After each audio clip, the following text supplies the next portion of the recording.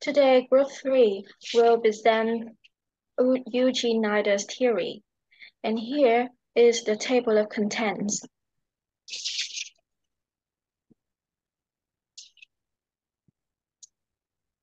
Let's begin with the first section, overview of Nida's theory.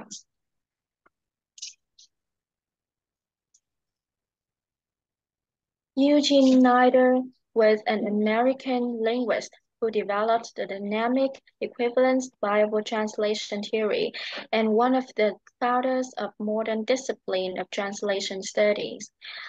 A theory is a cohesive and integrated set of assertions used as principles to describe a set of facts.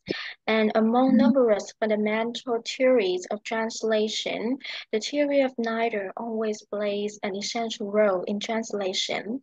According to Nider, no comprehensive theory of translation currently, currently exists because Translating is essentially a technology which is dependent upon a number of disciplines, linguistics, cultural anthropology, psychology, communication theory, and neutral physiology.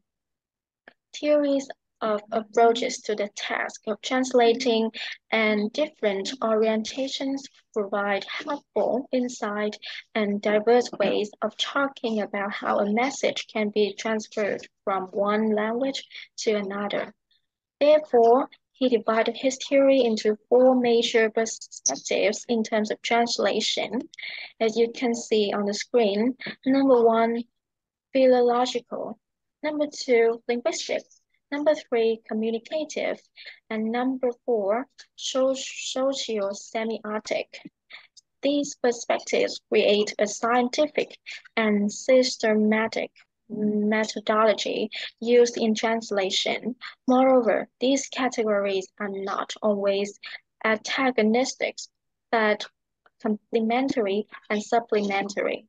And to be more specific about four concepts that I've mentioned, I would like to invite my friend to talk about the first perspective, the philological category.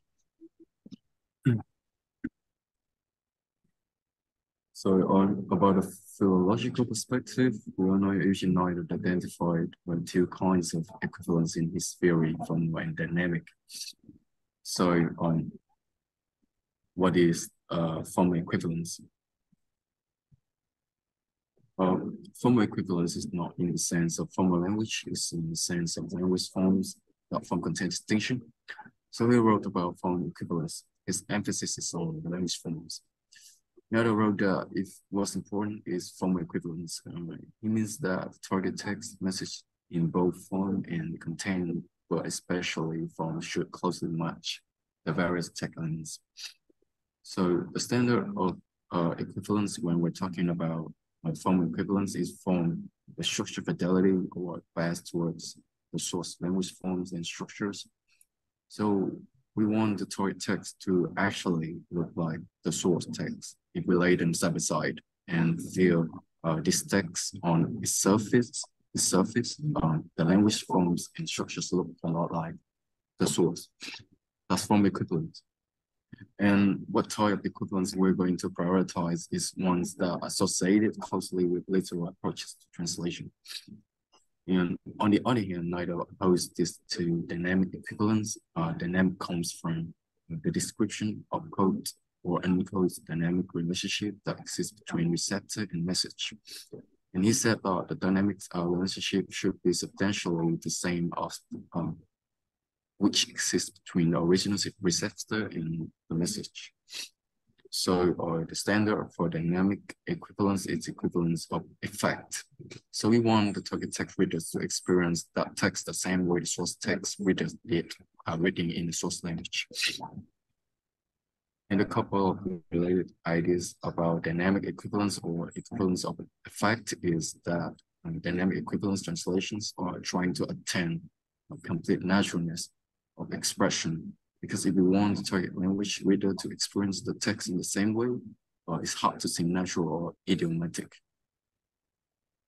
Um, also, it's associated with uh, a free approach to translation. Now, the translation theory was not achieved overnight, uh, rather it has gone through decades of unceasing practice and exploration and has been developed through continuous revision and improvement.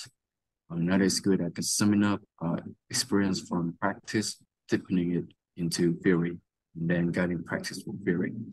Therefore, Nida translation theory can stand test and the liberation of time and has fresh and alive value of life. So uh, uh, we move on to the next uh, perspective, the linguistic perspective of the theory. Uh, so I'd like to invite uh, Milo to continue our presentation. So please. Thank you, Dak. Hello, everyone. My name is Mile, and Dak has just given you the information about philological perspective. Um, in this part of our presentation, I would like to talk about the linguistic perspective. The focus on finding the equivalent by means of linguistic elements such as the root of grammar, content, or meaning. First of all, because translating usually include at least two different languages. So it were unavoidable that many people investigating translation challenges were focused on the difference between the source and receptor language.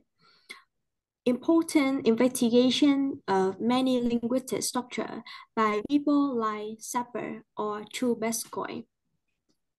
So Chomsky and his colleague added a dynamic dimension to language structure rule the use of transformation. All this led to the publication of a number of books on a book on transformation would have focused on primary attention on correspondence in language structure.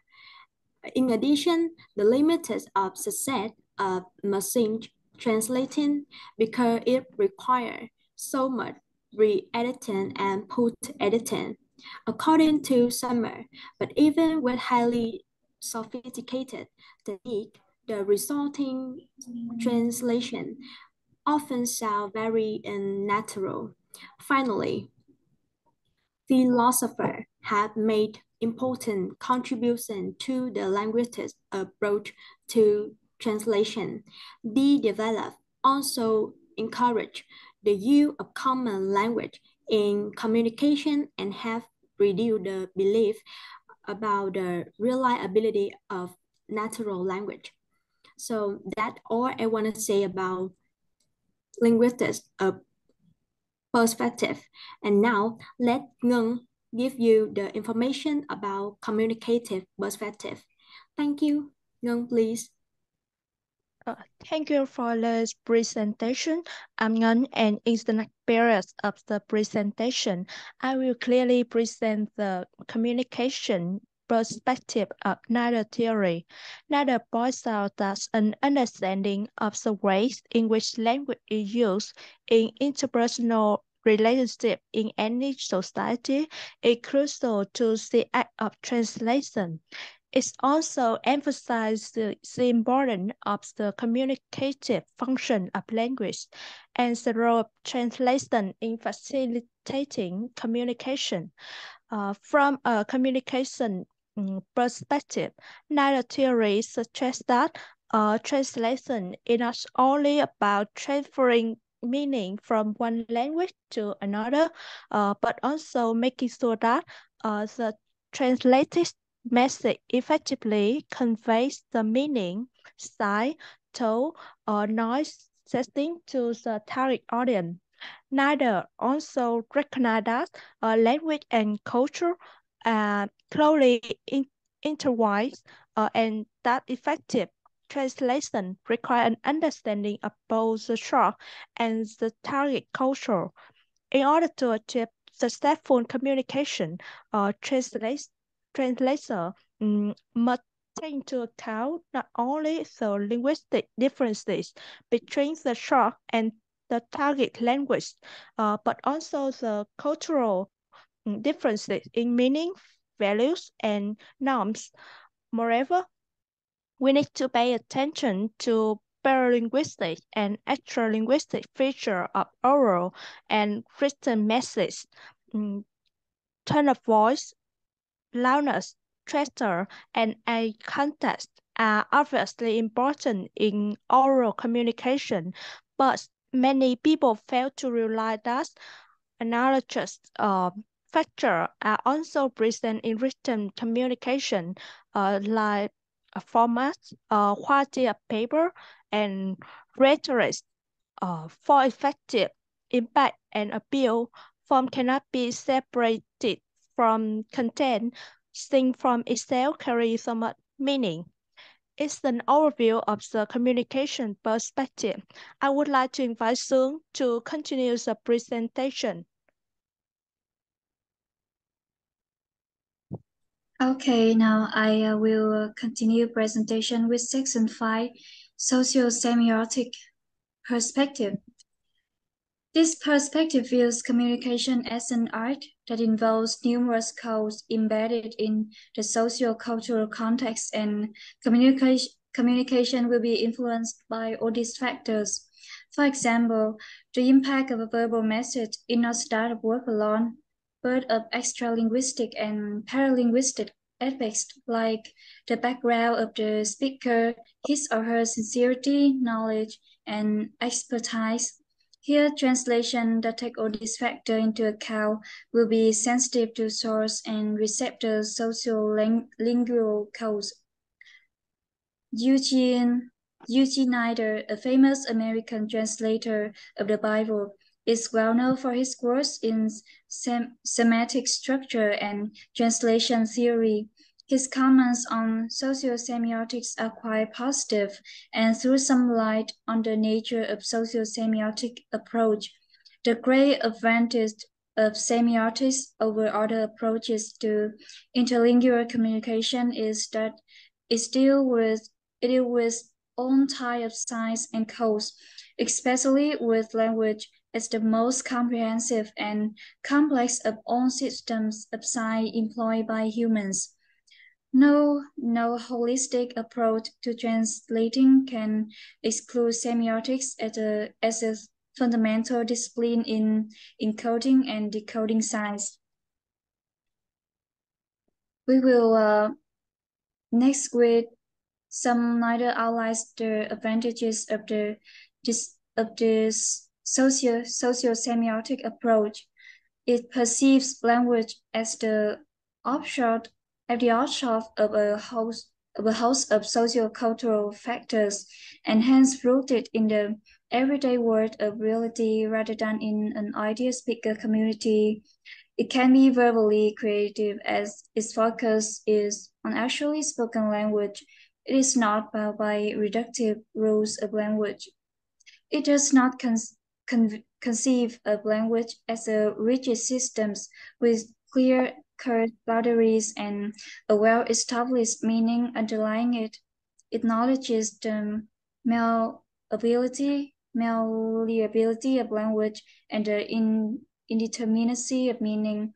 And the last one is takes into account the inter, interdisciplinary nature of codes, which tend to expand the boundaries of translation activity including the socio-semiotic approach helps one understand better not only the meanings of words, sentence, and discourse structures, but also the symbolic nature of distinguishing between designative and associative meanings. It also emphasizes the fact that everything about a message is is always carry a meaning. Uh, so we, uh, we will continue with the next section of presentation uh, with Presentations. Thank you, Phương.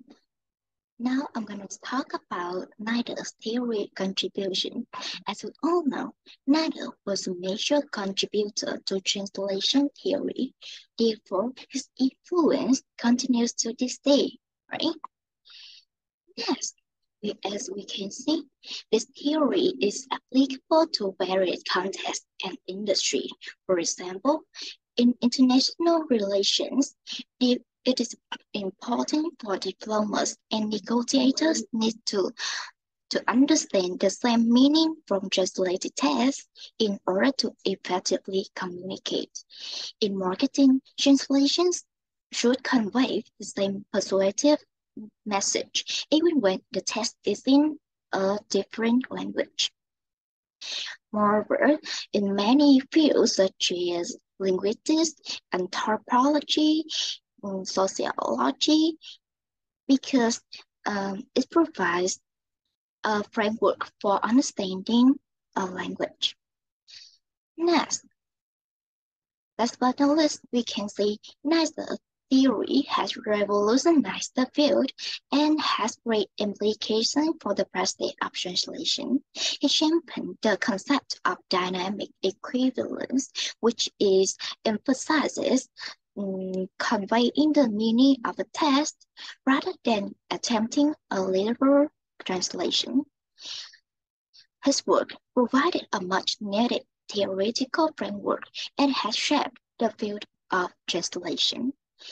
And that is all about our presentation. Thank you so much.